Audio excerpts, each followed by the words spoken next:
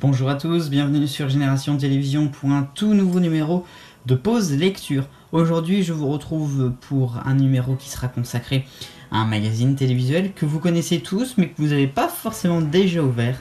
Il s'agit de Télérama. On y va.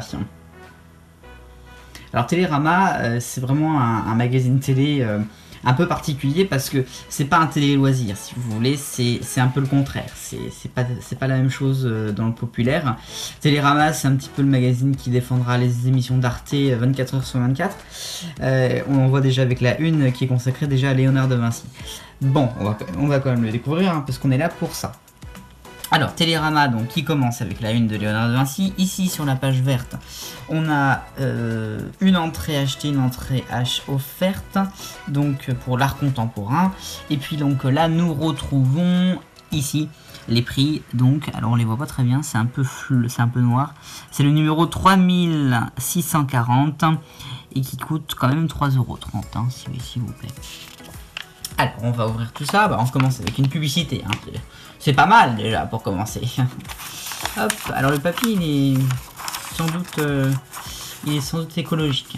Alors, eh bien pour un magazine télé, on commence avec euh, une page invitée avec euh, Giuseppe Pennon. Bon, je pratique pas l'italien, je suis désolé. voilà. Donc, une interview de lui-même, un sculpteur. Voilà. Alors il est, assez lourd, hein. il y a quand même pas mal de pages, on a 150 pages, euh, donc ça va être quelque chose. Donc interview de, ce monsieur. Ensuite, on arrive au sommaire. C'est marrant, on a une interview avant le sommaire. Ça, je crois que c'est la première fois qu'on me le fait. C'est quand même assez rigolo, ça. Hmm. Sommaire, page 11. Bon, bah, si vous voulez. Alors, donc, on a ici quelques images pour le sommaire, l'édito qui est ici. Euh, et puis donc on a les pages, donc on les voit ici. Hop. Et donc vous voyez quand même que la page de la télévision est quand même... Euh, bon, elle n'est pas réduite, mais euh, il n'y a pas que ça, quoi. Et on ira jusqu'à 170 pages quand même, hein. c'est assez énorme. Bref, on va tout de suite regarder. Page 13, on arrive donc à la rubrique premier plan, le soleil se lève à l'est. Voilà, donc ensuite, bon, alors c'est des pages un peu plus culturelles, hein, donc on va pas non plus revenir 15 euh, 000 ans dessus, je dirais. À part le fait donc que Gen Sacomano euh, a, le droit son petit encart, et encore il devrait en avoir plus, hein, tellement il était euh, talentueux. donc voilà, ça parle un petit peu de, culture, de tout, je lis pas, hein, parce que moi ça m'intéresse. Ce qui m'intéresse c'est la télévision, donc on va quand même passer ces pages-là. C'est dommage qu'il y ait... Enfin, Télérama, c'est un magazine en fait plutôt culturel que uniquement sur la télévision. Hein. C'est quand même ce qu'on voit sur les premières pages. Ah, c'est une page pour les box de Orange. Excusez-moi. Hop, un trait de génie, d'accord. Alors, donc les pages sur Léonard de Vinci, parce qu'il doit être en... Il doit être en exposition, le monsieur au Louvre, 400 ans après. Je sais même pas en quel siècle c'était. On a vu ça pourtant en cours, mais je m'en souviens même plus. Je suis désolé. Voilà. Donc Léonard de Vinci, bon bah évidemment, il fallait que la Joconde soit quelque part. Hein, ça quand même, c'était logique. Hop. Après, philosophe, philo, non, c'est pas philosophe, c'est philo, philologue. Alors tu, voyez, je connaissais pas ça. Le philologue. Philologue. Eh bien, enchanté de, connaître une philologue. je connaissais pas du tout. C'est rigolo. Philologue. Que je regarde sur Wikipédia. Le design participatif, hein, très très bien. Les médiathèques, les hôpitaux. Hop, alors les pages ont changé, tiens, elles sont un peu plus plastifiées, enfin, sans doute moins écologiques à partir de ce moment-là. Hop, donc des articles architecture, c'est très sympathique, sur le design et tout. Tous les chemins mènent à la réole. Ah, article sur la réole. Hein. En fait, c'est j'aime beaucoup cet endroit-là, enfin, cette région-là, l'entre-deux-mer comme on dit. Hein. Euh, j'aime beaucoup. Mais ça n'a absolument aucun rapport avec la télévision. Excusez-moi. Donc voilà, on parle de la Garonne, très bien. Ah, enfin la télévision. Merci RMC Découverte d'être présente sur cette publicité. Quand même, on va te montrer. Parce que voilà, RMC Bourdin Direct. Avec Anaïs Castagna, une ancienne d'ITV. qu'on aime beaucoup. Voilà. Et alors après, on arrive sur la rubrique autrement. Penser, voyager, découvrir. Autrement. Euh, très très bien. Donc page 47. Allez, courage. Dans 40 pages, on arrive à la télévision. bon. Hop. Oh, regardez comme c'est beau. C'est où ça? Au Canada, non, sûrement. En L'île des Monts. En Acadie. C'est où l'Acadie? Ça doit être au Canada, non? L'Acadie. L'Acadie, je savais où c'était, mais en l'Acadie. Boston. C'est au. Ok, d'accord, c'est aux États-Unis. Enfin, c'est pas très loin. C'est très joli. C'est très joli. Ça aussi, c'est joli. Hop. Alors, ensuite, rubrique. Passe. Art contemporain Télérama. Ah non. Non, c'est un, c'est pas une rubrique. C'est une publicité pour un pass pour découvrir, j'imagine, des musées et des trucs. C'est ça. Et apparition du logo de Franco. qui est partenaire, j'imagine. Donc avec ce pass, on peut visiter, j'imagine, tout ça.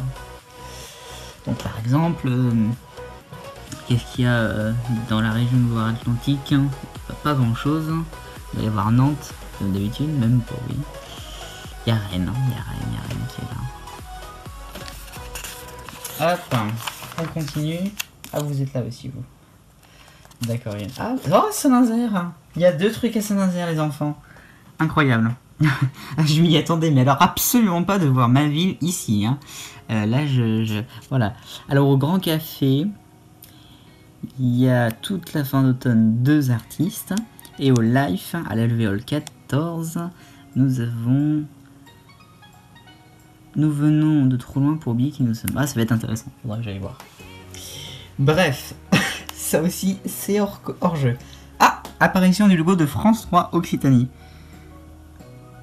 Heureusement qu'ils heureusement qu'ils sont quand même bien dans la culture France TV parce que autrement on ne saurait pas quoi faire. Télérama sorti. Voilà, on imagine que par exemple euh, le film Le Dindon ne fera pas partie des sorties. Ah, voilà. Alors les rendez-vous. Très bien, très très bien. Très bien. La rubrique cinéma. en fait, je crois que je suis encore, euh, choqué du fait de voir qu'il y a, qu'il y a qui quand même. C'est rigolo ça. Et que Nantes n'y est pas. On a gagné la bataille pour une fois.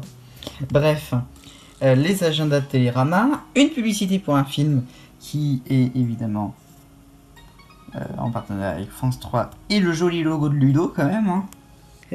Il est là Ludo. Ludo qui devait s'appeler Oku hein, au mois de décembre et ben, pour l'instant on n'a pas de nouvelles. Hein. Si vous en avez, faites-moi signe. Shaun le mouton. C'est un film. Évidemment c'est un dessin animé bien sûr. Ah, je suis pas bête. Hop, donc encore le ciné, le ciné, le ciné, très bien. Arte, bah évidemment. Je me dis, on n'avait pas encore vu Arte, c'est pas normal. Très bien, musique. Bon, quelque chose que j'aime déjà un tout petit peu plus que le cinéma. Hop. Voilà, voilà.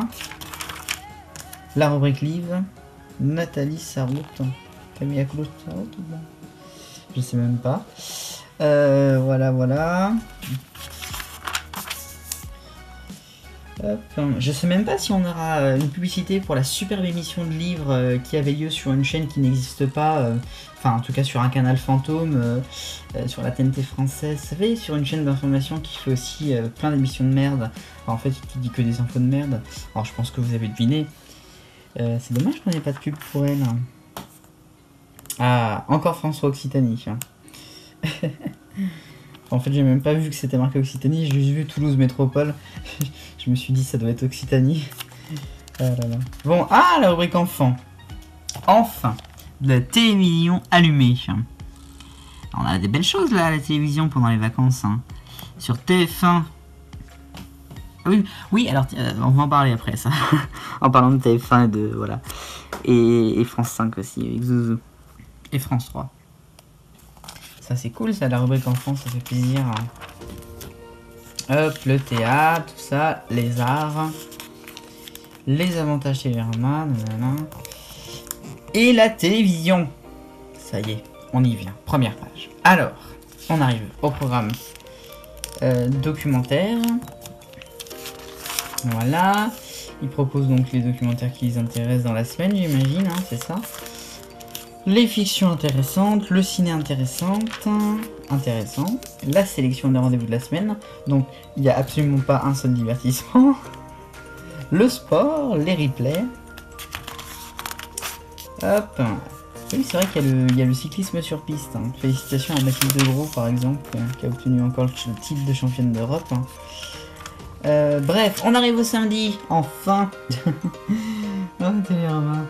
Le samedi, donc, les programmes qui nous proposent en sélection, on a Arte, Arte, Canal+, France 5, LCP, Arte, C8. Ah, on a quand même C8. Ça se demander s'ils ont pas bu ce jour-là.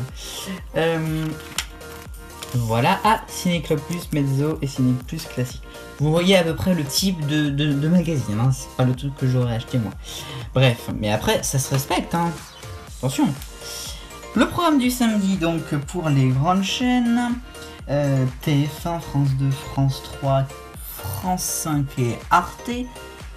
Je me demande pourquoi M6 a été mise avant Arte, c'est quand même assez... euh, Ah, M6 a été mise après Arte, pardon.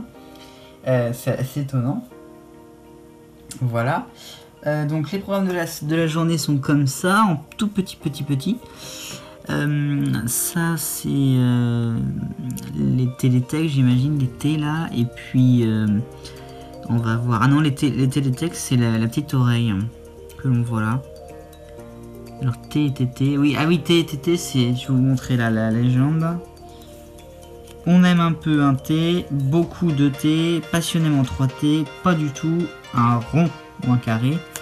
Et pas vu, mais faut voir un T, mais pas entouré. Hop, alors c'est. Waouh! Ouh. Ouh. alors là, il y a de quoi rigoler, les amis, parce que quand même, on a un classement assez étonnant. Il va falloir quand même me préciser pourquoi le classement est comme ça. Enfin, si je le sais, mais. Euh... Enfin, c'est incroyable. M6 donc se retrouve ici. LCP ensuite. Euh, D'ailleurs, en parlant de ça, c'est LCP ou c'est LCP et Public Sénat? Ça doit être les deux. hein. France 4, France O, qui doit être le, la seule chaîne, le seul magazine qui propose France O en entier. W9. Bon, il y a tellement de blanc, tellement il n'y a pas assez de programmes le week-end. Gulli. C8. RMC Découverte. Énergie 12. C-Star, Chéri 25, Sister. TF1 Série Film, TFX, TMC, RMC Story. Waouh! Waouh! On a quand même un, classement qui est assez très, très étonnant. Hein. Va falloir m'expliquer. Hop, et donc là on retrouve les sigles moins de 10 et tout ça. Et ici donc les numérotations. Waouh! C'est rigolo. Et alors après on a toutes les chaînes du câble évidemment. Hop, donc le samedi en violet, le dimanche en orange ou jaune-œuf, comme euh, je le dis souvent. Ah, c'est quand même incroyable que M6 se retrouve de l'autre côté. Et puis non mais vous avez vu le classement, c'est extraordinaire. Très bien. Le lundi donc qui se situe en bleu clair. Voilà. Ah oui, il y a le choix de Télérama ici pour les câbles. J'allais dire les câbles du satellite, plutôt les chaînes du, satellite. C'est pareil après. Le vert, le, le vert en, j'allais dire le vert en mardi, non? Décidément, ça va pas aujourd'hui, moi. Le mardi en vert. Oui, et alors donc, j'en profite parce que je l'ai vu tout à l'heure dans la page jeunesse. T'es fou pendant les vacances d'automne durent jusqu'à 11h. Il me semble, sans vouloir dire de bêtises, que l'année dernière, euh, il n'avait pas fait durer T'es fou jusqu'à 11h pendant les vacances de la Toussaint, alors que les autres années, il l'avait fait. euh, il l'avait fait, alors que pour les vacances de printemps et de février, ils le font plus depuis très longtemps déjà. Dites-moi si vous en souvenez, parce que moi je m'en souviens plus. Le mercredi, ça sera du. C'est quoi C'est un marron grisé, violet euh, Je sais pas trop la couleur. Vert clair pour le jeudi. Hop. Et le vendredi, en bleu foncé, bien sûr. Avec la génération Salut le copain, ça va être un joli documentaire, ça je pense aussi. Euh, après, je sais pas si ça sera fait l'audience. Hein. Euh, quand on a vu l'audience de l'émission de Faustine Bollard qui était vachement bien, euh, l'émission était vachement bien, mais l'audience était quand même moyen. Nous verrons. Et les aventures de Tintin qui reviennent vendredi sur Gulli les enfants. Tintin, je crois, aura fait toutes les chaînes confondues FR3, France 3, M6. Qu'est-ce qu'ils ont fait? Ils ont pas fait France 4, je crois. Sister, enfin bref, Tintin quoi. Mais on l'aime. On l'aime, Tintin. Voilà. Alors, la semaine prochaine. C'est cool, ça, il y a une page la semaine prochaine. Avec, bon, programme de France Culture, programme de France Musique. Voilà, très joli tour. Euh, Qu'est-ce que c'est que ça? Ça, c'est le programme radio. Je veux dire rado. Moi, je vais être en radeau après. Ah, tiens, il propose les programmes. Ah oui, non, c'est pas les programmes de la semaine prochaine, c'est les programmes de la semaine radio. Excusez-moi, j'avais mal vu. Je suis un génie. Donc ça, c'est les programmes radio. C'est le seul truc qui propose des programmes radio, très clairement. Euh. Et donc on retrouve France Culture en premier, France Musique, Radio Classique, France Inter, et ensuite Europe 1 avec une ligne, RFI, FIP, RCF. Tu m'étonnes que Europe 1 Europe 1 et plus d'audience. Ah bah, des fois, ils ont carrément pas de ligne du tout. Hein. Regarde la, tête du mardi. Mardi, mercredi, jeudi et vendredi. C'est ouais, c'est étonnant comment ils ont découpé ça. Quand on voit que le dimanche a toute la place et le lundi aussi. Ouais, c'est étonnant. Je sais pas comment ils font. Hop, ensuite ça se termine par ces pages-là de talent. D'accord Les offres d'emploi, quelques-unes, enfin en tout cas pour ceux qui vivent dans le Val-de-Marne. Une pub pour Radio Classique. Euh, il fallait évidemment. Et on termine avec les mots croisés. Enfin, le mot croisé, il n'y en a pas d'autre. Et bien sûr, comme d'habitude, la célèbre rubrique des crédits. Et bien voilà, c'est ainsi que se termine ce numéro de pause lecture. Merci d'avoir regardé, consacré à Télérama. On se retrouve très prochainement sur Génération Télévision. Vive le bonheur, on est tous millions de copains. Salut